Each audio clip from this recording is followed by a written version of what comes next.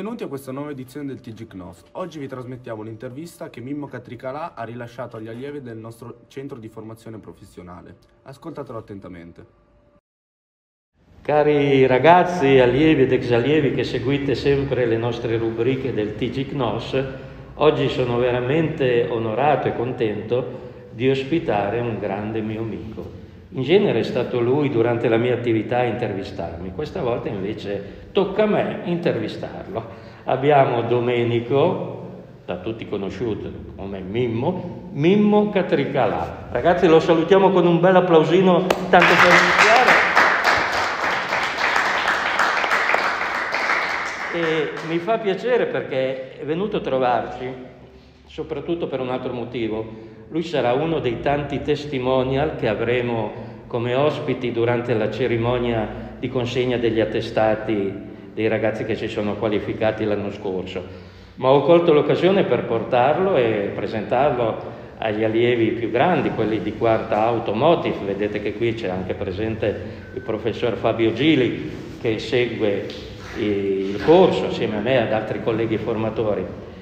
E Mimmo è adesso ce lo faremo dire dalla sua viva voce, oltre a essere stato l'iniziatore di un'avventura bellissima, sto parlando della prima emittente televis- eh, radiofonica di Vercelli, Radio City, è stato anche un grosso organizzatore di concerti, eh, non, sicuramente a livelli molto più alti di quelli che facevo io. Pensate che è stato il primo a portare Vasco Rossi a Vercelli, alla Pro Vercelli. Dicevo prima che qui da Corso Randaccio all'epoca riuscivamo ben a sentire distintamente il sound check di Vasco che stava provando la Pro Vercelli con impianti limitati, se vogliamo, per l'epoca, ma che nonostante tutto riuscirono a inondare tutta quanta la città di musiche e di note, è stato un successo strepitoso. Mimmo, sappiamo anche però che hai intrapreso un'attività sportiva non indifferente e questo ci piace sottolinearlo anche perché con i nostri ragazzi eh, sottolineiamo sovente che il praticare uno sport sano, non di quelli così che magari bombano muscoli di qua e di là, ma uno sport vero e sano, è veramente un percorso di vita. Sicuramente, certo, è proprio come uomo di sport che volevo rivolgermi ai ragazzi e con onore tra l'altro sono ospite e proprio in un momento particolare certo. per loro perché vengono chiamati, convocati per ricevere un premio, questo mi onora maggiormente.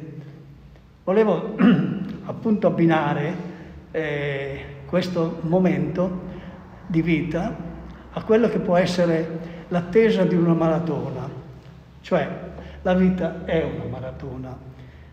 Intanto per partecipare bisogna prepararsi e bene, perché la prova è ardua. I primi chilometri quando uno si accinge sono facili, sono semplici, quasi, quasi divertenti direi però man mano che si procede poi le difficoltà arrivano e, ed è qui che è necessario avere una buona preparazione, tanta umiltà, non pensare di essere dei campioni e soprattutto molta determinazione, perché poi arrivano anche i momenti critici della vita, certo. così come della corsa, bisogna superarli. Ecco allora mm che ci vuole l'impegno. Questa corsa che se vogliamo possiamo paragonare a questi momenti particolari di questa brutta pandemia, eh, ma bisogna avere il coraggio, il coraggio in tutti i settori, in tutti i settori. per eh, poterla superare. Certo. Unire il coraggio all'umiltà. Certo. Perché non so più, ma era in un film, Green Book mi pare, mm. comunque un film molto importante diceva nella vita ci vuole coraggio, il talento di per sé non basta, per entrare nel cuore della gente ci vuole coraggio. Quindi ragazzi, siete arrivati ai chilometri, non lo so, forse iniziali della vostra maratona, però ricordate che arriveranno anche i chilometri difficili, quelli più vicini al traguardo e bisogna superarli. Ecco che allora ci vuole un impegno eh, una determinazione sia fisica che mentale. Grazie Mimo, parole A questo sante. punto allora il traguardo può essere quello che aspiravate, al quale aspiravate e che naturalmente vi premierà. Mimo, volevo cogliere questa occasione, proprio oggi o ieri al massimo, parliamo del 18-19 di gennaio dell'anno scorso, tu hai partecipato a una trasmissione seguitissima, Italia Got Talent, no? E ti sei presentato per sfidare e presentare quello che è il tuo record mondiale. Ce ne vuoi parlare brevemente? Sì, eh, intanto io non seguivo quella trasmissione, mi sono trovato immerso, coinvolto mio malgrado, però con piacere, perché era eh, quasi un messaggio che volevo dare, far conoscere questo sport, uno dei tanti sport minori non conosciuti ma che è, è fondamentale, fondamentale per tutti gli altri sport. Oggi senza pesistica qualsiasi sport non ha, non ha una corretta interpretazione. Quindi tramite amici mi hanno chiamato, ho detto ma sì, perché no? Ben volentieri. Il mese prima avevo battuto il mio record, avevo conquistato il record a Malta in una gara internazionale eh, sollevando 140 kg. Scusami Mimmo se ti interrompo, vogliamo dire a tutti quanti quanti anni hai? Sì, eh, oggi, oggi quanti? Sì, oggi.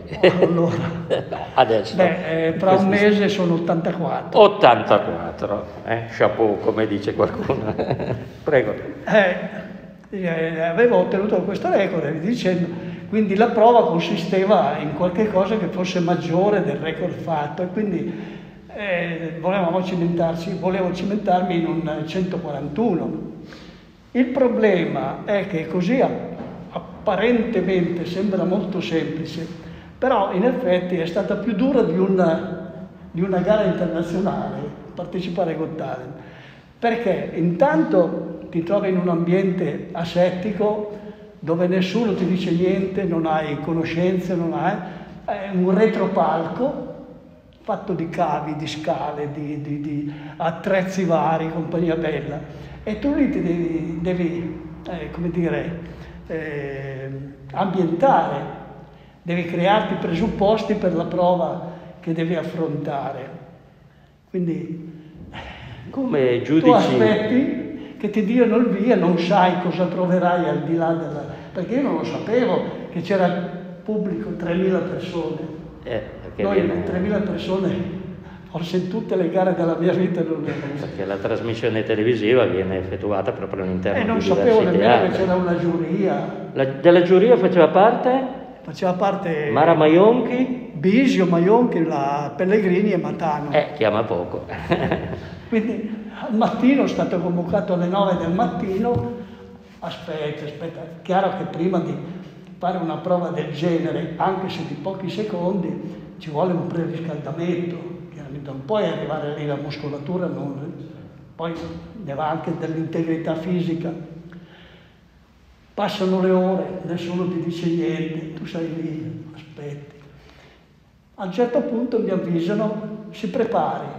Allora comincio a riscaldarmi.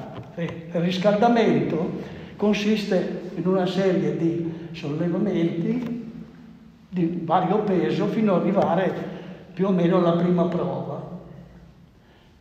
Mi alleno, mi preparo, mi riscaldo via dicendo, poi annullano la registrazione. Ecco. Vabbè, pazienza. Arriva a mezzogiorno, è ora di pranzare.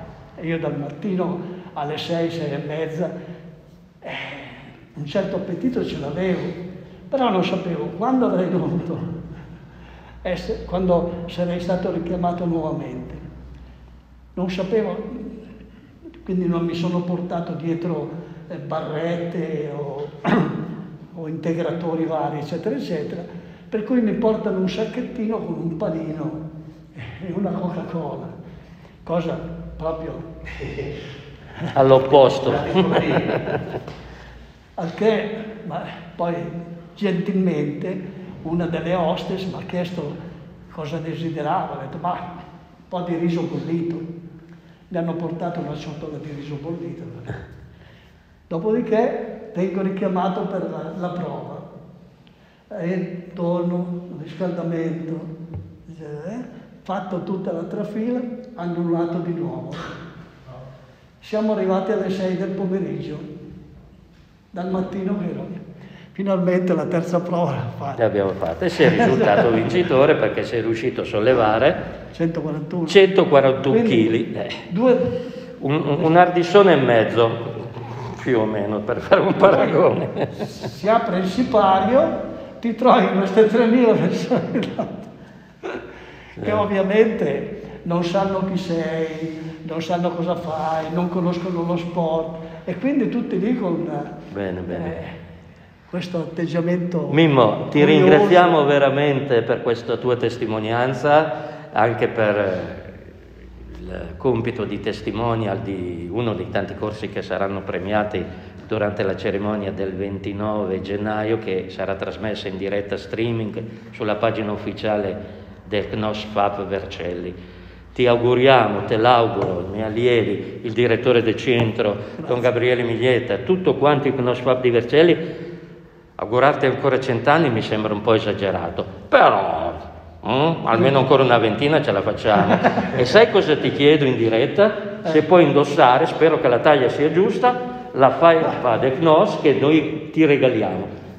Questa volta vestiamo, facciamo la vestizione in diretta di questo grande amico. È un po' larghetta eh e la centrifughiamo un po'. Comunque Grazie ragazzi, grazie a tutti quanti, ancora tanti grazie tanti grazie a Mimmo Catricalà.